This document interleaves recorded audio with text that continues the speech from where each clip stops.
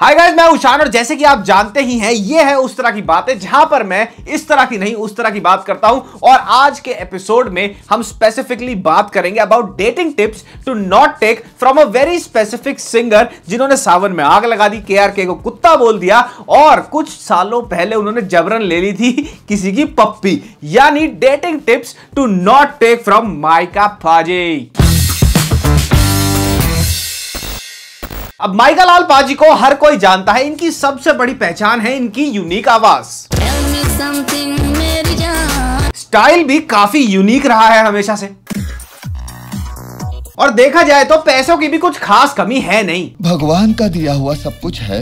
अब अगर ऊपरी परत से देखा जाए तो माइका लाल पाजी में वो सारे के सारे गुण हैं जिससे एक लड़की पट जाए। बट यार कुछ तो कमी रह गई होगी जिसके चलते भाई साहब को अपना खुद का स्वयंवर कराना पड़ रहा है। जब वो आएगी तब बजेगी वेरी विषय नहीं अब अगर शादी अरेंज करानी पड़ जाए तो तुम लोगों को पता ही है कि डेटिंग लाइफ की साइकिल की चेन उतर चुकी है और इसी के चलते मैं मिंका पाजी की लाइफ से जो जो डेटिंग टिप तुम्हारे को नहीं लेने हैं, वो ढूंढ के लाया हूँ इस वाले एपिसोड में। अब यूँ तो मैं मिंका पाजी को बेस्ट ऑफ़ लक बोलूँगा फॉर हिज स्वयंवर but at the same time हम ये भी नहीं इग्नोर कर सकते कि मैकेनिकल इंजीनियरिंग के लंफट लॉन्डो की तरह इनको भी अपनी मैरिज अरेंज करानी पड़ रही है। तो पहली डेटिंग टिप फ्रॉम मिंका पाजी जो तुम्हारे को नहीं लेनी है, वो है भैया कंसेंट बड़ा ज़रूरी है।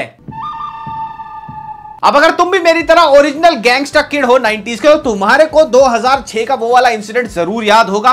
वो वाली भयानक शाम ज़रूर याद होगी। जब मिंका पाजी अपने बर्थडे बैच से निकले, मिंका पाजी को लगा, आज मेरा बढ़िया बर्थडे बैच हो गया। छिक के मैंने शराब पी ली है। अब मेरे को अपने आप को एक बर्थडे गिफ्ट देना है। तो उन्होंने, आप देखा ना ताफ, अपनी मुंडी घुमाई राखी उनको देखी, उन्होंने दे मारी।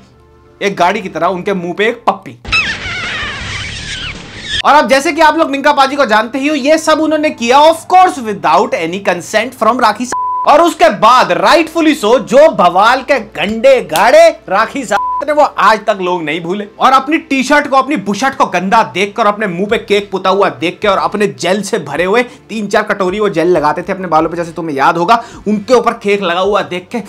मिक्का जी का खूम गया खौर अब अगर तुम्हारे को याद नहीं है, हुआ क्या था तो मैं तुम्हारे को थोड़ा सा ब्रीफ रिफ्रेशर दे देता हूँ। मिंका पाजी का 2006 का बर्थडे बैच था, जिसमें इन्वाइटेड थी राखी अब राखी तब भी उलझलूल काम करने में सबसे आगे थी, आज भी उलझलूल काम करने में तब से आगे हैं। और उन्होंने दे मारा केक मिक्का जी के मुँह पे। अब मिक्का जी, नहीं नहीं भैया, शर्टे वर्टे पहन के आए थे। टाइम हार्डी, टॉम हार्डी, कौन सी शर्टें होती हैं? वो हार्डी वाली, चिपकी वाली, जिसमें पेट दिखता है छोटा सा। वो वाले पहन के आए थे, वो हो गया गंदा। तो मिंका जी ने ये होने के बाद अपना पूरा साढ़े सत्रह ग्राम का छोटा सा दिमाग लड़ाया। And instead of telling Rakhi की तुमने बहुत गलत किया, तुम पार्टी से निकल जाओ, नहीं।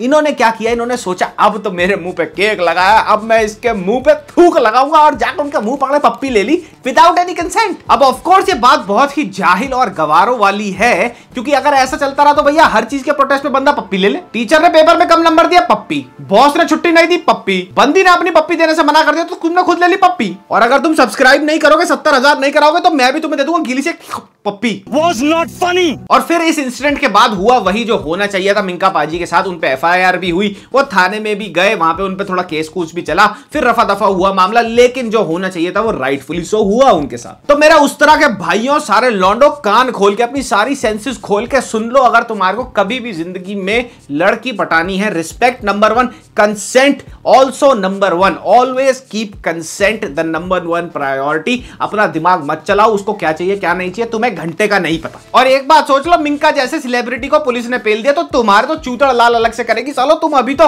नॉन टैक्सेबल सैलरी ब्रैकेट में ही हो। तो पप्पी वप्पी तो बहुत दूर की बात हो गई। हाथ भी पकड़ने से पहले परमिशन लेनी चाहिए ना? तो डेटिंग टिप नंबर टू जो तुमने मिंका पाजी से नहीं लेनी है वो है चोरी के ऊपर से सीना जोरी कभी नहीं करनी बेटा। अब बहुत सारे केसेस में ये होता है जब तुम एक बंदी को पटाना चाह रहे होते हो उसको लाइक करते हो और तुम दोनों फ्रेंड्स होते हो पर तुम उसको आगे लेके जाना चाहते हो फ्रेंडशिप को तो हो जाते हैं तुम्हारे बीच में भैंसबाजी या आर्ग्यूमेंट्स अब इस केस में तुम्हारे पास दो ऑप्शन है या तो एक ग्रोन अप की तरह अपनी गलती मानो और आगे बढ़ जाओ। खुद सोचो कि भैया मैंने कुछ गलत तो नहीं किया कुछ गलत तो नहीं बोल दिया और अगर किया है उस पर रिफ्लेक्ट करो और भैया उसको सॉर्ट आउट करके आगे बढ़ो ना। और दूसरी ऑप्शन ये है कि भैया सब कुछ जुटला दो कि भैया मेरी तो कोई गलती नहीं है मैं यूँ बहन जो, जो हूँ मेरे आगे तो आगे पीछे ऊपर नीचे कोई है ही नहीं। और फिर अपनी छाती चौड़ी करे खड़े हो जाओ अपने खोखले ईगो को दिखाने के लिए। बिल्कुल ऑप्शन नंबर टू की तरह किया था मिंका बाजी ने गाना बना दिया था इस पूरे पूरे पप्पी वाले इंसिडेंट में, भैया। भाई, तूने पप्पी क्यों ली? भाई। पप्पी क्यों नहीं अब ये वाला गाना सुनने के बाद मुझे अपने ऊपर काफ़ी तुच्छ भावना आ रही है और तुम्हारे को भी आ रही होगी क्योंकि हम सबने कहीं ना कहीं इस गाने पे दबा के वाइब किया है बैक इन द डे माफ़ करना मैं गुस्से में इधर उधर निकल जाता हूँ। अब इस प्यार भरे नगमे के दो चार बोल जो मिंका पाजी ने लिखे थे वो तुम्हें सुनाता हूँ। मुँह पे केक लगा के गले लगाया मुझको मेरी ही पार्टी में क्यों उकसाया मुझको? हे भगवान थोड़ी याददाश्त ऐसी टाइप की ले ले मेरी। मेरे हिसाब से हंड्रेड परसेंट तुम मुंबई आओ। अब अगर इस गानों के बोल तुम आगे पढ़ोगे तो तुम ये बोलोगे कि शान भाई गलती तो मिंका पाजी के हिसाब से दोनों की थी क्योंकि राखी ने पहले मिंका पाजी के कभी इस गाल पे कभी उस गाल पे पप्पी करी थी। पर मेरे भाइयों यहाँ पे ध्यान देने वाली बात यह है कि गाल पे और होठों में चाहे आधे इंच से भी कम का फ़र्क हो लेकिन इंटेंशन जो होती है एक लड़की की अगर तुम्हारे को वो गाल पे पप्पी दे रही है या फिर होठों पे दे रही है तो तुम्हारे में अपनी बुद्धि नहीं है क्या? उसमें बहुत बड़ा इंटेंशन का डिफरेंस होता है। एंड आई एग्री कि बहुत सारे केसेस ऐसे होते हैं जिसमें दोनों तरफ़ से गलती होती है बट जब दोनों तरफ़ से गलती हो तो खुद अपना दिमाग लड़ाओ और बड़ा आदमी बनो उस गलती में, ना कि अपना ईगो को बीच में लाके इन्फ्लेट करके उस सिचुएशन को और ज़्यादा खराब कर दो और खुद ज़्यादा बुरे बन जाओ उस गलती में। और पर्सनल एक्सपीरियंस से ये बता रहा हूँ women always prefer men who forgive and forget and move on and do not inflate their egos तो डेटिंग का तीसरा दस्तावेज़ जो तुमने मिंका पारी से बिल्कुल नहीं लेना है, वो है आई कांटेक्ट भी ज़रूरी है अब एक काम करो, कोई भी पुरानी, नई, या फिर ये जो पिशाची रील मेकर्स हैं डेटिंग टिप्स के रील मेकर्स हैं, वो वीडियो अगर तुमने नहीं देखी है तो मैंने लास्ट वीडियो उसकी डाली हुई जाके वो देख लेना। इन लोगों के हिसाब से भी डेटिंग का नंबर वन ग्राउंड और फाउंडेशनल रूल है कि भैया, आँखों आँखों में बात हो जानी चाहिए। और बॉलीवुड में जो आज तक बीसियों साल से लंबे लंबे बकचोदी के फार्म भरे गए हैं अबाउट मेरी आँखों में झाँक के देखो, बड़ा गहरा प्यार दिखेगा तुम्हें, उसे कैसे भूल सकते हैं? और अपना खुद का दिमाग लगाओ, ये चीज़ ज़रूरी भी है आई कांटेक्ट काफ़ी ज़रूरी है और जब तुम एक आई कांटेक्ट मेंटेन कर सकते हो थ्रू आउट योर इंटरव्यू या फिर किसी और से बात करते हुए तो फिर जिसको तुम अपनी प्रेमिका बनाना चाहते हो, उससे आई कांटेक्ट क्यों नहीं कर पाते? यहाँ पे नौकरी वोकरी नहीं, यहाँ तो पलंग तोड़ मेटिंग दाव पे लगी है भाई। और ये एग्जैक्ट बात आई कांटेक्ट वाली मिंका पाजी बिल्कुल भी समझते ही नहीं। जब देखो अंदर, बाहर, ऊपर, नीचे, सुबह, शाम गॉगिल ही गॉगिल लगाए घूमते भाई साहब। पर ये गॉगिल वाले स्टाइल मारने के बीच में ये मत भूल जाना कि लड़की ने भी अगर वहाँ से भाव दे दिया तो उनको तुम्हारी मदमस्त आँखें कहाँ देख रही हैं क्या वो उस लड़की को देख रही हैं, वो लड़की क्या देखना चाहती है तुम्हारी आँखों में? तो वो तो तुम्हारी गॉगिल के पर्दों ने छुपा ली है ना? तो बेसिकली मैं कहना चाह रहा हूँ, ये बात की गॉगिल छॉगिल लगाना ठीक है भैया, स्टाइल विस्टाइल दबा के मारो, लेकिन ये तुम सेलिब्रिटी मत समझो अपने आप को, और ये मॉलों में घूमते हुए अंदर जाते हो मेट्रो स्टेशन के मेट्रो के अंदर भैया, ये गॉगिल उतारो, मैं पता ही ना चले तुम्हें लड़की तुम्हारे को भाव दे रही है कि नहीं, पर ये ज़रूर पता लग जाएगा, लड़की कहीं से मोतिया बिन तो नहीं है। तो dating tip to not take from Mika Paaji number four है, अपनी बकचोदिया कम कर दो। अब लॉन्डो को जरा से पैसे क्या मिल जाए, जरा से पॉपुलर क्या हो जाए, जरा सा भाव क्या मिल जाए कॉलेज में तो ये, इतने से टट्टे इतने भारी हो जाते हैं और सीधा कच्ची से बाहर। आओ देखते हैं ना, ताओ बस अपने आप को एकदम हाँ यूरितिक अब मिंका पाजिया केस भी कुछ ऐसा ही है हवा में उड़ने का बट वो थोड़ा लिटरल हो जाता है मीनिंग दोनों हवा में उड़ने का और हवाबाजी करने का, क्योंकि कुछ टाइम पहले तुम्हें याद होगा, इन्होंने पूरी की पूरी फ़्लाइट बुक करा ली थी अपने एक बंदे के उड़ने के लिए। एक भी आदमी मुझे फ़र्स्ट क्लास में नज़र नहीं आना चाहिए। तो मैंने पूरी फ़र्स्ट क्लास बुक करी अपने लिए। और इस हवाबाजी की जस्टिफिकेशन देखो मिंका बाजी कहते हैं मुझे ना थोड़ा सा अलोन टाइम चाहिए था मुझे थोड़ा रेट्रोस्पेक्ट करना था अपनी पप्पी वाली चीज़ों पर अपनी पुरानी गलतियों पर इसीलिए ना मैंने पूरी पूरी फ़्लाइट ही पूरी बुक करा मारी। और ये देखो मिंका बाजी कितने भोले हैं कह रहे हैं कि सबको ऐसा कुछ ना कुछ करना चाहिए और इसी के तहत इसी के चलते इसी मिंका बाजी की अर्जी के चलते मेरे हम नाम एक और सिंगर है शांत बाजी उन्होंने भी पूरी पूरी बोलिंग एली बुक करा मारी। मैं और मेरी फैमिली जहाँ भी जाते हैं हम पूरी आकेट बुक कर लेते हैं ताकि और कोई हमें डिस्टर्ब ना करे कि जब हम बॉलिंग या कुछ भी कर रहे हैं।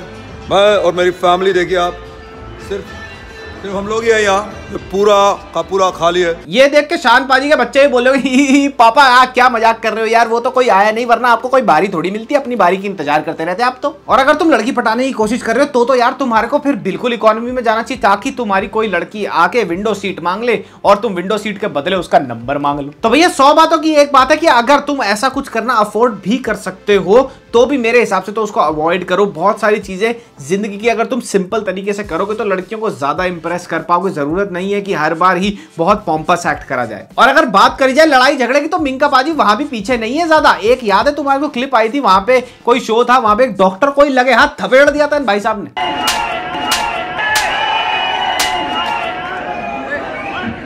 और अभी रिसेंट पास्ट में ही के आर के को कुत्ता बना दिया था और हर किसी से जा जाके अपने गाने में गली गलोच में हर किसी बंदे से कुत्ता बुलवा रहे थे अपने गाने के लिए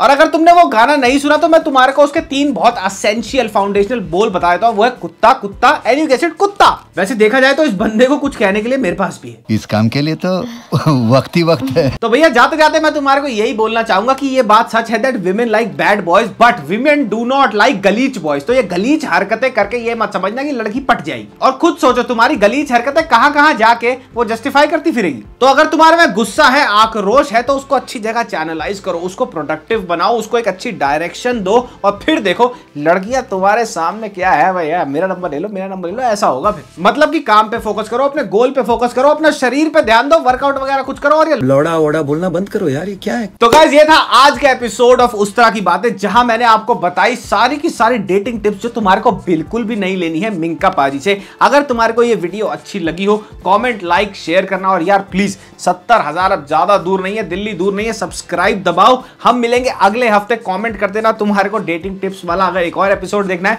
तो किस नायाब प्राणी से हमारे को वर्ल्ड टिप्स नहीं लेनी चाहिए? ये कोशिश करना कि थोड़ा वो कॉन्ट्रोवर्शियल बंदा हो तो ज़्यादा मज़ा आता है। तब तक के लिए नेक्स्ट एपिसोड में मिलते हैं। Mamma Mia, lasagna, puppy.